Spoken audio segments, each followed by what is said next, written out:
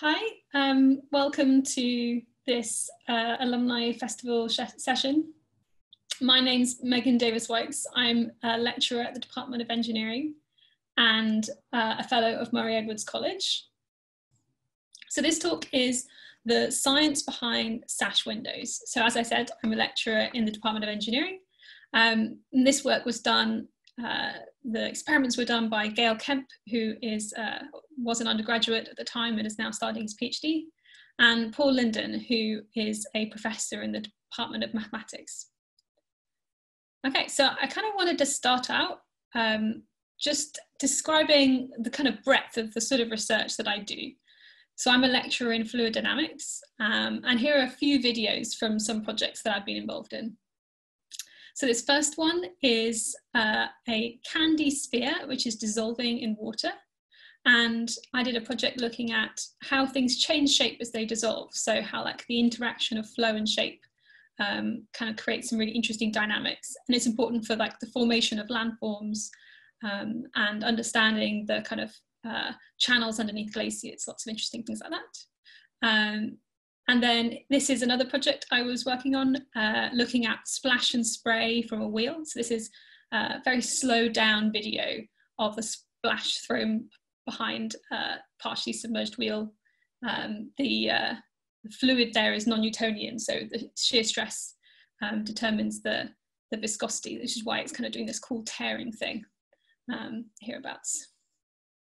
And then this is uh, a large bulk of my research is looking at mixing so this is uh, a simulation um, of fluids of different densities mixing together um, due to something called the Rayleigh-Taylor instability. Mixing is very important um, for understanding and modelling the ocean. So from the very big to the very small, um, a last kind of section of my research I did looked at uh, like tiny, like microscale particles and what happens when you uh, make them such that they kind of create a flow around themselves. So these are like rods of uh, platinum and gold. When you stick them in some fuel, they create a flow and they can self-assemble into these little shapes, uh, little rotor. Um, and also kind of how to steer them because um, at the very small scale, things don't act quite the same way as they do um, at the much bigger scale that we're used to, um, like inertia is not the same. So here's a, an example of a little microscale swimmer being steered by teardrop shaped posts um, in the, the environment in which it's swimming. Right, so, but I'm not going to talk about any of that today. Today I'm going to talk about ventilation. Um, so this is uh, Ham House, owned by the National Trust, who took this photograph. Um, and you might notice that there are sort of quite familiar sight in the UK, sash windows. Um, and these date like the these windows of this sort date to like the 1600s. Um, it's not quite clear who invented them, possibly Robert Hooke, um, although it might have been the Dutch, because I think this was in the, the, Dutch style. And they're actually quite a clever piece of technology um, that almost everyone uses wrong. So to, my data on this is uh, a photograph I took on the 21st of May. Um, and it was, uh, this is on my daily allowed exercise. Um, it was 26 degrees, so it was quite warm. And this is a row of buildings, all of which have sash windows. And those outlined in red, uh, they're using their sash windows wrong. So uh, by the end of this talk, you'll understand what I mean by that. And you can have that smug feeling whenever you see a sash window being used wrong in the future. So I counted 14 windows here and uh, 12 of them are, are being used incorrectly. So uh, that's 86% of people. So you could be part of the, uh, the 14% um, who get it right. Okay, so sash windows, what drives the flow? So at a sort of most basic level, um, the inside air is warmer than the outside air. So this is like a kind of model room with just a single opening in the side. Um, hot air rises and flows out the top of the window and cool air flows in through the bottom. So to be a bit more precise about this, um, the uh, pressure gradient um, is equal to minus rho g. So rho is the density, g is gravity. This is basically saying that um, the pressure pushing on you is equal to um, just sort of how much stuff, the air there is above you pushing down. Um, and so as you move upwards, there's less stuff on top of you, so the pressure decreases. Uh, and the density, this rho, um, is proportional to uh, 1 over T. So T is temperature. And if indoors is warmer than outdoors, then uh, the pressure gradient, the magnitude of the pressure gradient indoors is, is lower. So in other words, this line here is shallower. Um, so when you compare the pressure indoors and the pressure outdoors, there'll be some point where these two are equal. And then above that height, where the pressures are equal, um, there'll be a higher pressure indoors, um, which will tend to push air out through the window. And uh, below this height, um, there'll be a higher pressure outside, which will tend to push air through the window into the room. Um, and then this height is actually determined by the fact that if this is a closed room, then what goes in must come out. We have to conserve volume. So uh, this height is actually determined by that uh, constraint.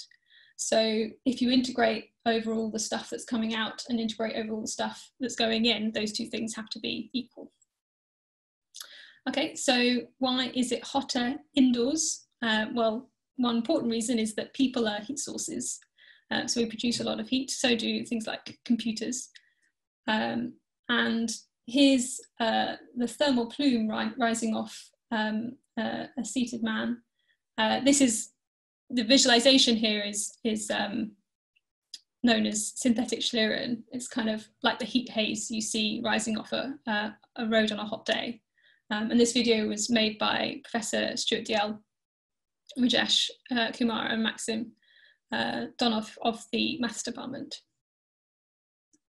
Okay, so what I do a lot of is reduced scale experiments. So doing experiments in air is very tricky, um, particularly if you're trying to do things at full scale, so like of a real room.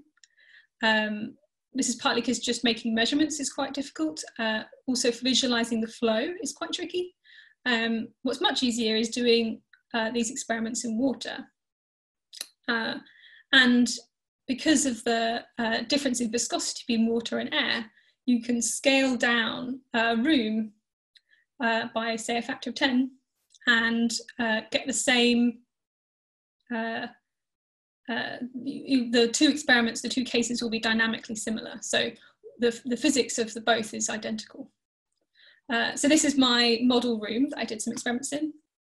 It's uh, about um, 30 centimeters cubed.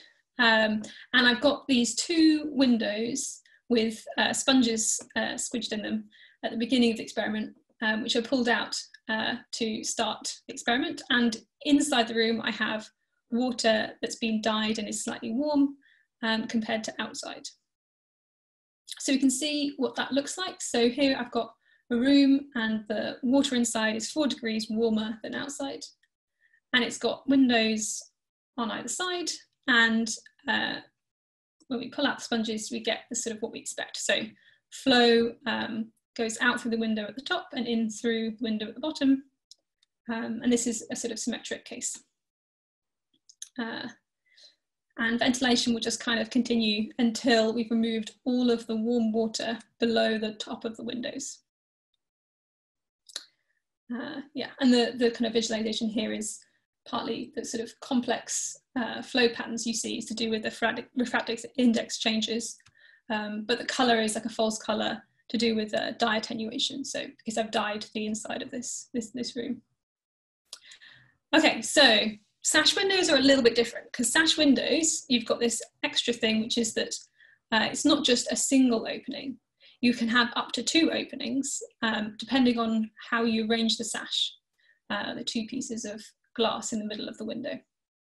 So let's imagine I'm going to describe this geometry um, through a, uh, a lower opening of height h lower, some height of the sash, which can be as little as half the total window, window height, and then the, uh, the total height of the uh, window is uh, H and the width is W.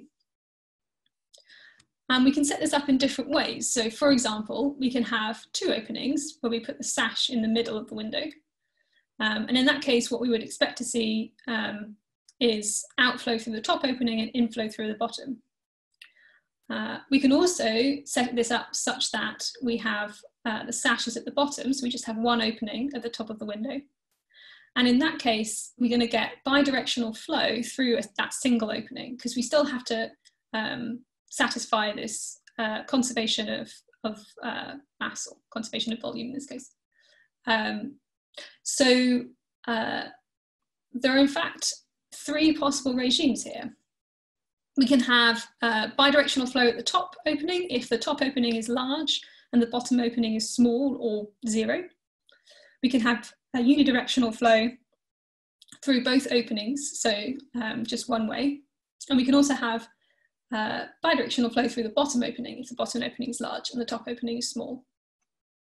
Um, and at this point, we probably want to calculate uh, some flow rates. Like if we're going to ask what setup gives us the highest ventilation rate, uh, we need to be able to calculate what the flow rate is going to be. Um, and to do that, we effectively we use uh, conservation of energy. So uh, effectively we're using Bernoulli's equation, uh, for those of you who know what that is. Uh, another way you can think about it is that the change in kinetic energy per unit volume is equal to the change in potential energy per unit volume. Because um, uh, density here is just mass per unit volume. So this, this is really potential energy. Um, this, uh, these pair of equations, we've got two equations, but we've got three unknowns. We want to know what V out is, what V in is, um, and we don't know where Zn is yet. So then our last, last equation that like, determines Zn is uh, that the flow rate going in must be equal to the flow rate going out. So in other words, the integral of V out must be must equal um, over the range Z is larger than Zn, must be equal to the integral of V in over, integrated over Z is less than Zn. So just the bottom half. Okay, so this is what you get. so this y-axis here um, is the flow rate Q through the window going out, um, divided by, uh, normalized by Q window, where the Q window is just a, a way of um, normalizing Q, and it's just the flow rate you would get if there wasn't a sash, if H sash was zero. Um, then on the lower axis, on the x-axis, we have um, H lower uh, normalized such that it goes between zero and one. So H lower going from as small as it can be, so no, no lower opening, to as large as it can be, which is um, H minus H sash. And then these different colored lines are varying the size of the sash. So the smallest it can be in a real sash window is uh, 0.5. So that's like half the window is uh, blocked and half the window has, is open. And then as we move along this x-axis, essentially we're just making the uh, lower opening bigger. So we have three regimes. Um, this like dotted line uh, is that when we have bidirectional flow at the upper window because the lower window is too small. Then the solid line, we're having, we've got unidirectional flow. So um, uh, like unidirectional flow through both openings. And then the dashed line, we've got bidirectional flow at the lower window. Um, and we can see that the, the highest flow rate happens when we have equal sized openings at the top and the bottom of the space. Um, and the lowest open lo lowest flow rate happens when we have um, uh, essentially uh, one single large opening. Um, and it doesn't matter if it's at the top of the window or the bottom of the window. Um, that's the lowest flow rate. Um, so we might want to compare our uh, sort of model to some laboratory experiments. So these are some experiments that Gail did. And you can see we can see we've got uh, a tank which is uh, photographed here, and it has two sections to it. So it has a uh, two compartments. We fill one of these with salt water, which is sort of playing the part of cooler air, and one half with fresh water. We then uh, pull out a gate in between the two compartments, which allows wa uh, water to flow through uh, this kind of um, model uh, sash window, which, which has like opening sizes that we, that we uh, determine. And then we visualize this by using a projector, which reflects off a 45 degree angle mirror, um, comes through the tank and projects onto this screen. So what, what we're sort of seeing is um, sort of variations in refractive index. So here are a couple of uh, movies from experiments. Uh, here we have unidirectional flow through both openings, like there isn't um, any flow coming through this bottom opening, or rather there's a little bubble because it's sort of right on the edge. Um, and then uh, where, whereas in this um, example, we've made the lower opening just a bit bigger and the top opening just a bit smaller. Um, and as a result, we've now got bidirectional flow through the lower opening.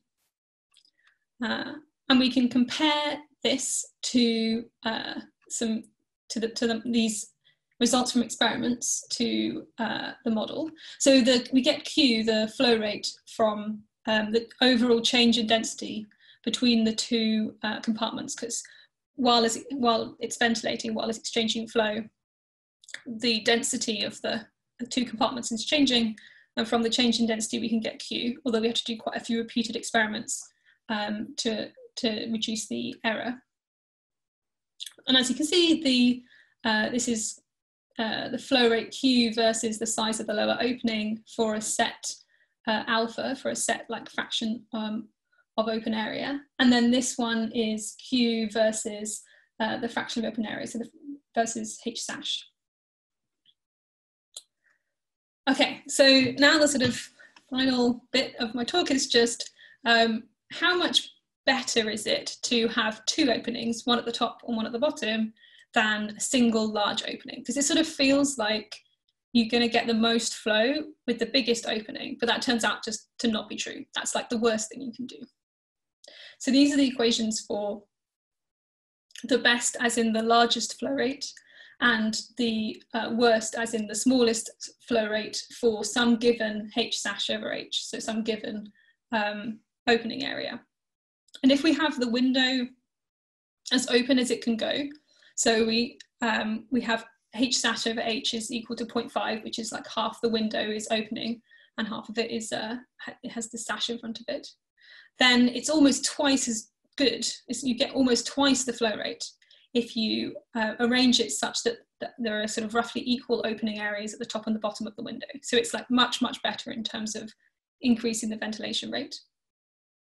And if you have a smaller opening, so say like 0.9, uh, like 90% of the um, of the window is still covered by sash, then it's almost five times better to have that opening split over the top and the bottom. So it's like really substantially different.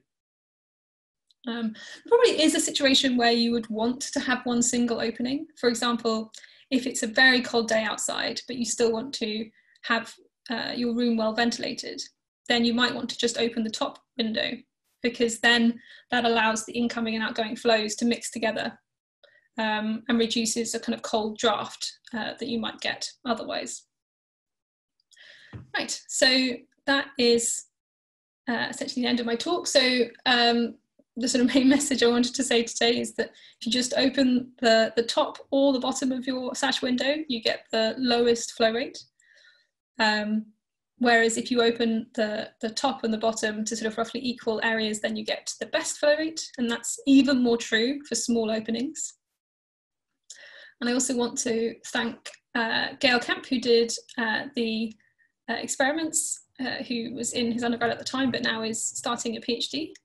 Um, and uh, Paul Linden, who is a professor in the mathematics department um, and who I collaborated with on this research. Um, this was uh, part of the MAGIC project, which is managing air for green inner cities, um, which is looking at like ways we can encourage people to use natural ventilation, um, which is an EPSRC Grand Challenge project.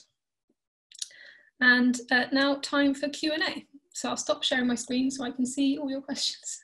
Thank you very much for listening. Right, what have we got? Okay, so um, the first question I've got is in using water as uh, analog for air, how does it affect the result the water is incompressible? That's a really good question. So um, the sort of velocities that um, you would expect to see in building ventilation, um, the compressibility of the air just isn't relevant. Like the compressibility, obviously water is incompressible. Air is essentially, you can treat it as incompressible unless you're traveling close to the speed of sound uh, when it starts to really matter. Um, but uh, uh, the sort of velocities that you would see for building ventilation, it's not significant. Uh, okay, so then Janet, uh, I've got another question, which is, uh, what is the effect if there are two single openings on opposite sides of a room? So kind of like the experiment I showed. Um, so if um, you can get wind-driven ventilation set up, um, so you have wind blowing on one side of the building, that can be a lot more effective than just simple single-sided uh, with a single opening. Um, the, uh, so then that's a whole other talk which I have done some research on. Um, and in that case, wind and buoyancy, like wind and um, temperature can interact in some interesting ways uh, to result in some uh, in, ventilation. It's also kind of interesting if the openings are at different heights. If you have two openings, if you have two different openings, then it stops being the height of the window or the height of the opening that matters. And it becomes the height difference between the two openings that's important for driving the flow. Right, do you have any thoughts for the implications for movement of particulate matter through the sash? I'm thinking air pollution. Um, so this is a really, yeah, this is a very important thing to think about uh, when you're um, bringing in outside air I think um, quite a lot of the time, particularly in our homes, the main sources of pollution are not outside, like unless you're next to a kind of motorway, they're actually indoors. They're from cooking and cleaning and from um, uh, sort of uh, candles, that sort of thing. Um, so, in fact, uh, quite often the air outdoors is cleaner than the air indoors in terms of particulate um, and like in terms of air pollution. But it kind of does depend on where you live and how effective your extractor fan is. Uh, right, so was the sash window designed for ventilation or was it just a pragmatic and aesthetic way of making an open window? I think probably a bit of both. Like I think the best engineering,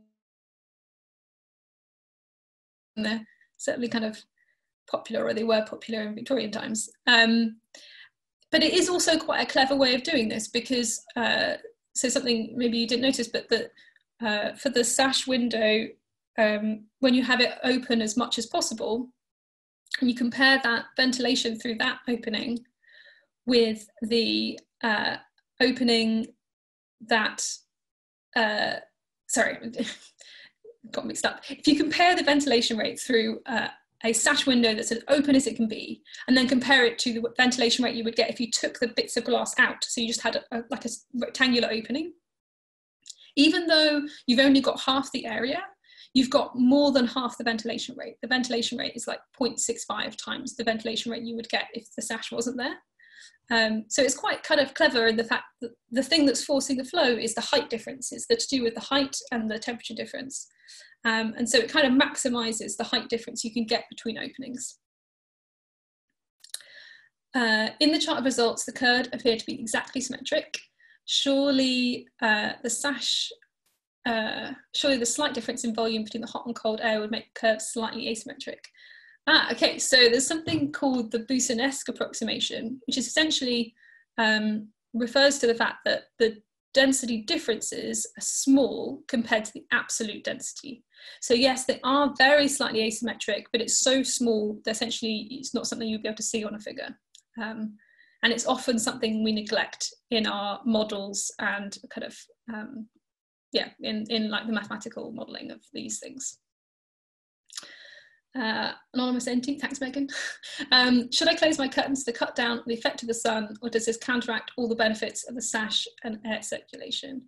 So um, yes, so I mean, what, what I do is I have the um, on the sunnier side, I have the, uh, the, the curtains closed during the hottest parts of the day because uh, you're sort of trying to balance the heat you lose through ventilation with the heat you gain from uh, the sun's radiation.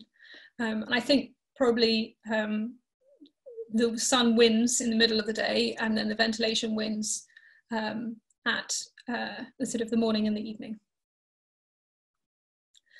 Uh, most uh, your results suggest that most non-sash windows are very badly designed for good ventilation or have a misunderstood. So there are various other types of windows, and I'm not an expert on all types of windows, um, or even most types of windows. So, I mean, if you have a window that's very tall, that's essentially taking into taking advantage of the same effect as a sash window.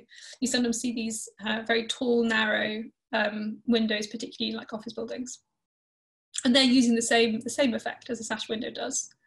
Um, the the sort of uh, windows you sometimes see which are very short and near the top near the top of a room, they're meant to like enhance the mixing between the incoming and outgoing streams to avoid drafts.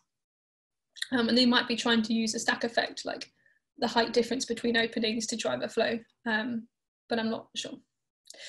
Ah, the ventilation model works well for no wind, but what happens when there is wind to drive the flow? That's uh, an excellent question. I've done a whole other research project on that, which I didn't have um, time to show. Um, so uh, you can look at the, the effect of wind and uh, temperature on uh, rooms with two windows so on opposite sides of the room. And in that case, wind is pretty much always good. Um, if you have, uh, like buoyancy tends to very slightly suppress the ventilation due to wind when it's buoyancy dominated, as in when temperature is really important. Um, but it's quite, it's quite small. Um, the uh, wind-driven cross ventilation tends to be the most effective if you have one wind, uh, sorry, one window um, on one side of the room and that's that's it, then uh, it's a bit more complicated.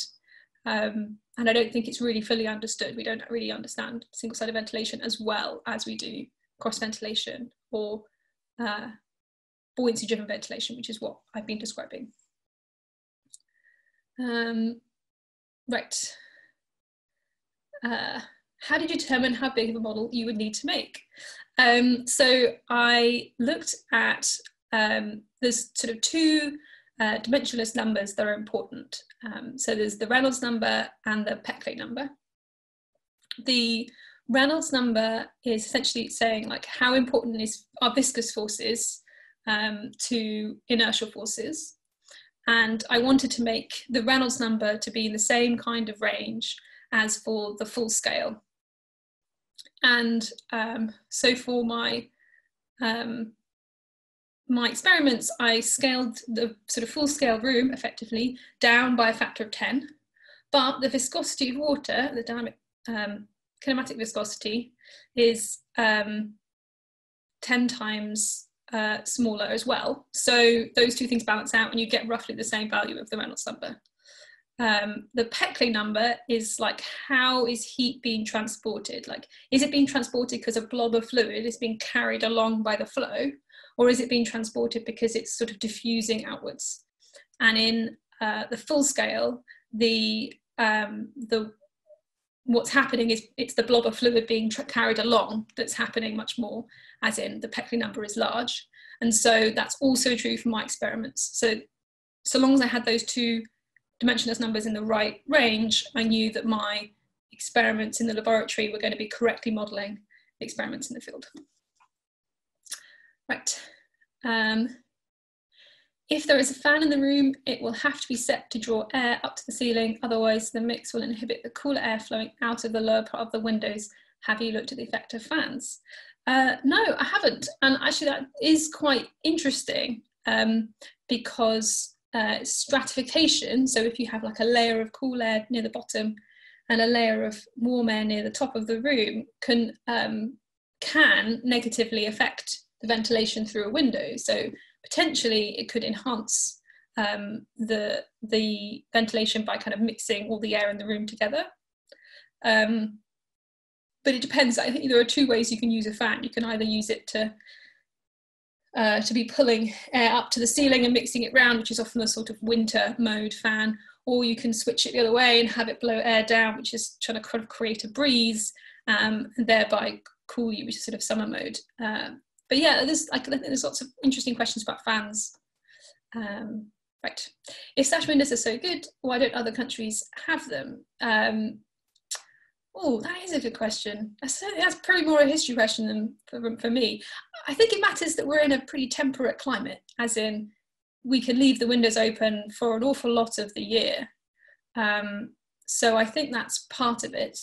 Um, there's uh, hotter countries, you often need to have a much higher ventilation rate. So there you do things like you have um, these big chimneys. Um, if you look at houses in Spain, you'll often see them that are trying to catch the wind and increase the stack effect, so the, the effective temperature by having a much, much taller height to act over. Um, so yeah. Uh, something similar on chimneys. I'm afraid I'm not quite sure what that question means. Uh, are there practical applications for this other than for sash windows? Hmm, I, I think um, I was very much sort of focused on, on the sash windows. Um, I think uh, uh, certainly like buoyancy driven flow is like um, very common uh, phenomena. So um, yeah, so like lots of other situations where similar models are quite useful. Um, is the sash window better than ordinary tilting windows if you had two openers top and bottom? I don't know actually. Uh, so this is where I kind of get a bit stuck because I, I, don't know as much about tilting windows as um, I would like. Um, I think they're trying to do roughly the same thing, so have an opening at the top and an opening at the bottom. Um, but obviously the sort of tilt tilted window bit um, affects the flow um, and does sort of matter, but it's, it's, it's, trying to do basically the same thing as a sash window. Uh, I think it would depend on how tall you can make a tilted window compared to how tall you can make a sash window. Um, okay. How do other factors affect the efficiency of a sash window? For example, opening the door in the room, external wind blowing against or parallel with the window? Oh, that's such a good question. Um, so uh, opening a door in the room, um, you could enhance the flow because you could introduce kind of some cross ventilation, um, which does tend to enhance the flow rather than inhibit it. Um, wind blowing against the window um, and parallel windows, that's sort of single-sided ventilation thing again, which uh, we have models for it, but it's not something we really fully understand, I would say, uh, despite the fact that it's really um, common. Uh, right. How are you planning to share this information with those living in older homes with such windows or even older buildings like Girton College? Um, well, so I mean, it's not, some of this is not um, uh, new, it's just not very well known, if that makes sense. Um, although there's some of the stuff on um, uh, and understanding all the different flow regimes is new. Um, but knowing that the way to use a sash window, you have to open it at the top and the bottom. Um, that's uh, uh, in, in theory been known, but just sort of been forgotten. Um, so, uh, and I certainly want to share this research, um, particularly looking at the flow regimes. Um, the uh, and, and the process of writing a paper um, on that and then we'll yeah publicize it and stuff. Um, sorry i'm a scientist so i'm not very good at that sort of thing. Um, okay uh, are there economically attractive modern sash windows for social housing? Uh, that is a good question but i'm afraid i don't know the answer. Um, that's yeah. Okay sounds as if sash windows are the bee's knees. Ventilation how do other window formats compare um, I guess it kind of depends on um, uh, what we're trying to do. Um, it's um, uh, like how much ventilation you have, what the occupancy of the building is likely to be, what the room is going to be used for, like, you know, if it's cooking versus if it's something else. Um, so there's a kind of a lot of factors that would play into that. Um, another question on hinge windows, which I've already talked about.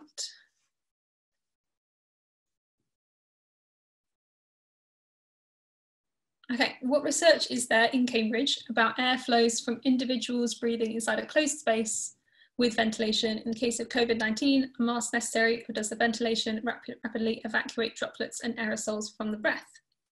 Uh, very topical question. So Stuart Dalziel, who I mentioned, uh, there's a video um, by him earlier in the talk, he's doing some really fascinating stuff um, looking at um, the sort of uh, plume from the from the breath and how that interacts with ventilation.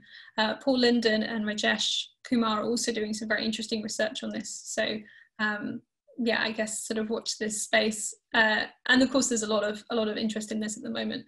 Um, I would say masks are necessary. Um, I think they're actually really important. Um, one really uh, interesting thing they do is they change whether your breath goes out or goes up in your body plume. Um, and then that can affect how, um, how things uh, uh, get removed by the ventilation system. Um, it can mean that the ventilation system can remove things a lot more effectively than if you weren't wearing a mask. So that's uh, like one of many reasons why mask wearing is very important, particularly indoors. Uh, would the same conclusions re relating to a number of openings apply if you have modern sliding windows, if your openings are vertical and not horizontal? So a lot of a lot of that would sort of apply, but um, it actually kind of gets a lot simpler because you only ever have uh, an opening of some height and you're just the width is changing um, and so it's much much easier to work out what the ventilation rate is going to be. Um, so uh, yeah so that's um, um, a lot of the, the, the, conclusions wouldn't would be different in the sense that there aren't different arrangements of the window um, in the same way it's just make the window wider and you'll get more ventilation because um, it's always the same height. Uh, how does the relative ventilation compare between an opening of length h with no window at all and a window with two equal openings and h sash is 0.5? Ah, yes, okay, so um, in that case, the ventilation, the ratio of those two is 0.65-ish. Um, so that was the, the top of the, the graph that I showed at one point, in but I didn't really highlight it as much as I could have done. So it's the, the ratio of those two rates, the rate with no window, with no sash at all, just an opening of height h.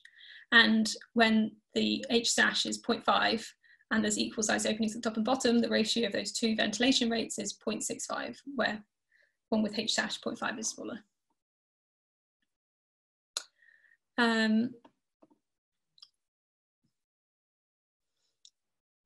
When sashes were developed in Stuart times in England, as I understand it, presumably for much of the year, people wanted to get rid of smoky air from fires while minimising heat loss. Do sashes address this issue better than casements? I, I don't really know the answer to that question. Um, if I had to guess, I would guess that it's more like for smoky air from fires, it's more about making sure you have good ventilation and you have a good chim, like a well-designed chimney. Um, so I don't know that that would make a huge difference. I, I don't know quite enough about that though, I think, to, to speak to it. Uh, have you compared uh, flow dynamics of sash windows to those typically used in modern dwellings, e.g. top opener, side opener, which is superior, having regard to modern trickle vents?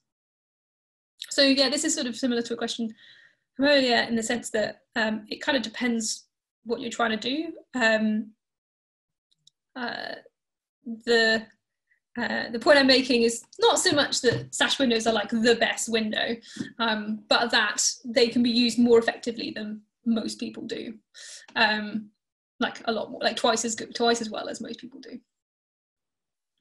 Um, right, so um, uh, and yeah, so it will depend what what the room is like and what you're doing in the room and um, the climate and that kind of thing.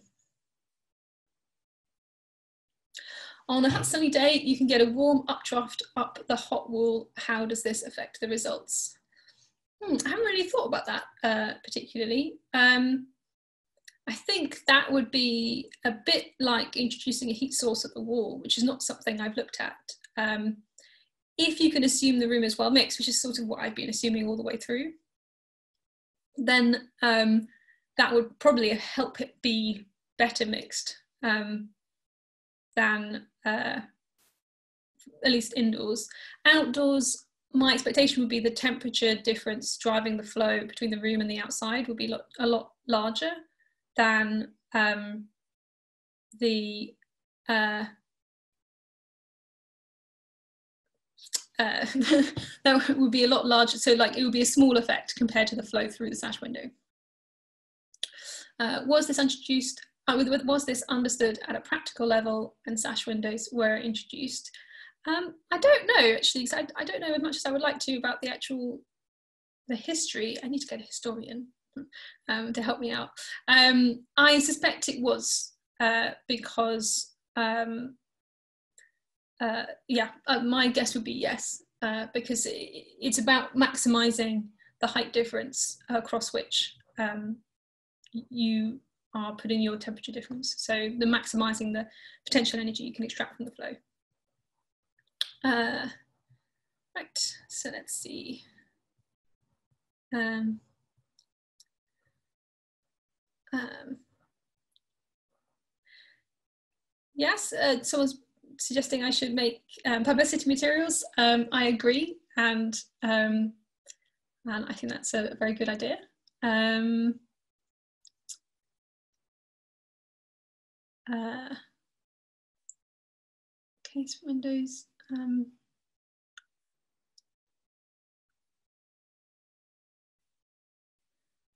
Right, would vents in similar positions be as efficient as a sash window? In other words, is it sensible to have windows provide both light and ventilation? Um, certainly like, I mean, if you had an opening which was the same size as uh, half the height of a sash window and two openings at the same places, but like opaque in the middle, um, it would work exactly the same, although obviously um, one of the nice things about sash window is you can arrange it in different ways. Um, so you can reduce the flow by um, reducing the size of the opening or by um, just having one opening if you want there, to be a lot of mixing, then um, then that kind of uh, is maybe more useful than just having static openings. Um, right. Uh, Oh, okay. Yeah, so um, if I have any advice for engineers try and convince architects to use sash windows rather than those with only one opening to maximize energy efficient natural ventilation, how might you tell them in a simple way? Oh, this is a really good question. And I really wish I knew the answer to it because I feel like I'm doing this a lot. I think sash, I think natural ventilation, um, so ventilation that's driven by wind and by buoyancy is becoming more and more underused. Like we've become really attached to these big glass buildings that you have to cool through mechanical means because there's so much radiation, there's so much heat going in that um, you have to use an enormous amount of energy to keep them cool. Um, and I think there's been this move away in architecture uh, because of air conditioning, uh, away from buildings that work for the climate that they're in. Um, and I think moving back towards buildings that, that work as buildings without needing to use these very high um, energy, uh, like very carbon hungry um, ventilation systems is really important. Um, there's a huge amount of energy associated with cooling buildings um, and, he, and, keeping buildings warm in, in winter. And I think um, particularly cooling is going to become more and more of an issue. And you have to design the buildings such that they can um, uh, they they they won't be as crazy expensive um, and carbon hungry to, to cool. Um, so I think I would I would I would go the energy efficiency and and creating buildings that work for the climate that they're in rather than just ignore the environment um, that they're in. Uh, right. If you ventilate a two-story house, do you get much better flow by having maximum size openings in the sash windows on both floors? Yes, I think you would. Um, I think you need to make sure that you keep the windows opening, the, the, sorry, the doors open between the two rooms that have the sash windows. But potentially from that, you could get um, a much larger uh, flow rate through the bottom and out the top. um, because the two windows would sort of be communicating. Uh, does it make a big difference how close to the ceiling the window is placed? Um, it depends. So it won't make a difference to the flow rate out through the window because it's just the height of the actual window that matters. It's possible for warm air to get trapped near the ceiling of a room um, if the top of the window is too far from the top of the ceiling. Um, so that's sort of one thing that might happen. Like you kind of saw that in the video of sash windows that I showed, um, uh, where towards the end of the video, there was just this layer of red fluid above the top of the windows that couldn't be removed because um, it couldn't get out the window. Uh, is there an optimal way to use sash windows to ventilate while minimizing heat loss in the room? Um, so for a given ventilation rate, you're always going to it's going to be sort of equal to a given um, heat flux in because you always have to, you know, if you're bringing so much air into the space to keep it at the same temperature you have to heat all that that air up. So there isn't like a way to do that in a way that's like more or less energy efficient because it's just that's the amount of energy you need. Uh, but if you want to uh, ventilate a room and it's very cold outside probably what you want to do is just open the top bit of the window instead of both bits because then um, you can enhance mixing between the ingoing and outgoing streams of uh, fluid. And that will mean that when the air comes down and kind of moves throughout the room it will already been kind of warmed up a little bit like the edge will be taken off. Um, so it won't, so it won't kind of create a cold draft. So that's like one way one situation where you might want to use the um, window in like the least effective way in terms of flow rate um, you looked at a single room. Does this scale up for a multi-floor house with windows open on more than one level? Does it all become horribly complex? So it does become complicated but um, the sort of general rules are still true. Like you still will get more flow if you have uh, two openings. Um, and uh, although you know you, you won't get exactly the same but like if you have wind bringing into the mix you can you can get more complicated but you won't get less ventilation with wind than you would otherwise so um, you can still kind of use it to to get kind of rules of thumb, but it, things can get quite complicated if you want to get like exact values. Um, uh, right. Building on the point about particulate matter, could opening one window only provide a sort of filter of particulates, similar to the point you made about having a window open in cold weather? So I don't think um, it wouldn't really, you, you'd reduce the concentration a bit in the incoming air um, of any particulate matter that was outside and not inside, but you wouldn't reduce the amount that's coming in. Like, um, like the amount that comes in would be however much, like whatever the concentration concentration is multiplied by the ventilation flow rate you've got. So it wouldn't. Um, I don't think it would make very much difference from that. Uh, and you can't really put a filter over the window because stuff driven by buoyancy is the pressure differences are quite small, so they often can't overcome a large um, pressure drop across a filter, say. Um, yeah, uh, so results people in charge of it, uh, absolutely. Um, uh, it's always good to talk to people who uh, are interested in natural ventilation and particularly people who are interested in building regulations um, like such as CIBSE. Um, we've already put some of our research in the CIBSE newsletter. It was looking at um, the effect of temperature on cross ventilation. Um, so yeah, it's a very important route for information distribution. Um, presumably this works less well if there's hotter air outside at the lower part of the window. For my window, I think the concrete produces hot air just above it. Oh, that is interesting. Yeah, I am always pretty much assuming that the air outside is cooler than the air inside, because that's true most of the time. Um, I mean, not in really hot countries, but in that case, you sort of don't really have an option. Um, and even then, most of the time, it is cooler outside. Um, uh, yeah, so in, in, that case, it might be a bit tricky because um, uh, it depends like how close to the concrete you are. Um, but yeah, potentially that could be an issue. Uh, sash windows are not popular in new builds now. What is the environmental impact of retrofitting compared with the potential benefit to the environment of sash window on improved ventilation? So I would say uh, retrofitting for natural ventilation, so not specifically sash windows, but any sort of ventilation where ventilation is being uh, forced by like the natural forces of wind and temperature is uh, is is good, although it has to be done carefully. You can't just. Um, but I think also just um, encouraging uh, kind of natural uh, natural ventilation in new build and also in retrofit uh, is a good idea. So like, but not yeah, not necessarily specifically sash windows, but that sort of thing. Um, okay. Uh, I have normal windows hinged on one side with quarter uh, lights at the top. They're hinged on the top edge. Uh, I'm guessing that to get the best cooling, I just need to open them all as wide as possible. Yeah, that's pretty much true. Like if you want to just cool your room, then open them as widely as possible because the height is just uh, the thing that's forcing the flow and that height is just a, a constant thing. Um, uh, right.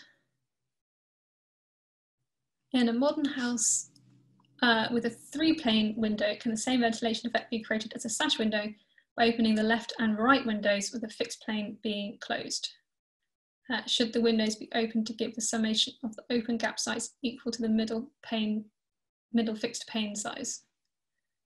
Uh, I don't quite get the second bit. So the so if you have um, pane like panes side by side, um, then it's just the height of individual windows that matters, and you just open all of them. It's not having two openings that matters. It's having two. It's having the maximum height difference between the top of the top opening and the bottom of the bottom opening. Like that's the thing you want to maximize. So if you have vertical windows um, that have a fixed height, you just want the largest opening area possible.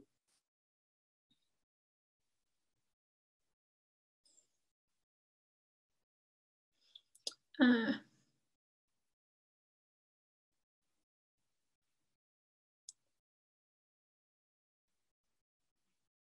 So if tall windows also work well, does the sash as an obstruction enhance or reduce the airflow? So it reduces the airflow, but not as much as you might expect, given that like how much of the window it blocks. So um, if you just have an opening, just a constant opening, um, and you have exchange flow across the opening, the flow is really fast at the top and the bottom, and it decreases, it gets towards the middle and becomes zero. And it doesn't do this linearly, it's like a quadratic. So there's like the most of the flow is going right through the right at the top of the window and right at the bottom of the window. So when you put in a sash, you block a region where there's not that much exchange anyway. So it doesn't reduce the flow as much as you might expect. Right, uh, I think I've got time for maybe three more questions. Um, uh, is there an optimum size window for maximum ventilation? Well, um, basically, the optimum size window is as big as you can make it. Obviously, there's some restrictions around that in terms of the wall and the um, building. Um, so uh, it's more just sort of like how we arrange an opening for a sash really makes a huge difference as to how much ventilation we get. Um, and what is the best configuration for getting rid of viruses from a room? This is suddenly a rather important question. I agree. Um, more ventilation, the better, um, essentially, is what it comes down to. Uh, I would say probably as well, like having openings at the top and the bottom is also a good idea. Um, and I think, uh, yeah, this is a good time to make sure you're ventilating your buildings well particularly if you're sharing rooms with people who aren't from your household, for example. Um, so it's it's definitely worth um, enhancing the ventilation as much as you can. Um, I wanted to keep this a little bit lighthearted, so I didn't want to talk about COVID all the time. So, um, but I could have done. Um, right, uh, right. If you if you want to control ventilation in cold conditions, uncontrolled ventilation is often associated with loose fitting sashes, did you look at sash window efficiency from this view?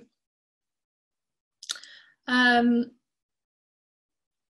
yeah, so, well, I mean, you sort of drafts and also um, uh, uh, like uh, like a high um, uh, like a, buildings that have a, like a surprisingly high kind of ventilation rate, given there weren't any obvious openings, um, leaky buildings, um, sometimes can be can be good rather than bad. It sort of depends exactly what you want to do. Um, there's been a lot of focus on making sure buildings aren't leaky. Um, yeah, so I haven't really looked at like how how tight fitting you can make sash windows. That's not really something I've I've researched. Um, but yeah, it's definitely an interesting question. Uh, right, is salt the only thing that was used to change the viscosity of the water? Tells you keeping Reynolds number in the same range as the real world room or window. So uh, the salt doesn't really change the viscosity of the water. It changes the density because salt water is more dense than fresh water. Uh, the viscosity of water is different from air in the same way that viscosity of honey is different from the viscosity of water. Um, but because water and air also have different densities, um, and it's really the viscosity divided by the density that matters. Uh, viscosity divided by the density for, for water is a factor of 10 different from the viscosity of air divided by the density of air, um, which means that uh, when I scale down my experiment by a factor of 10, it comes to uh, the, same, the same thing. Uh, right. Um,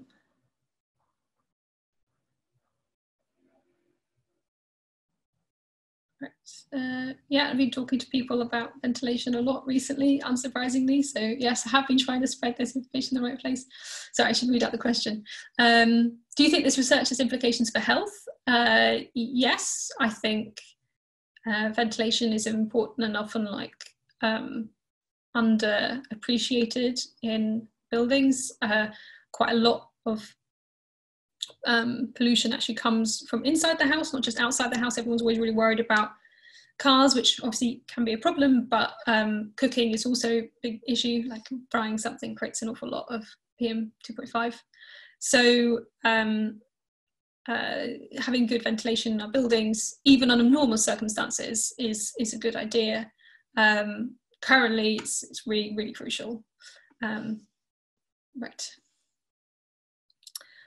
Uh, and I think I will end it there, given that our time is up. And I hope you enjoy uh, the rest of uh, the, uh, the Alumni Festival. And thank you very much for listening.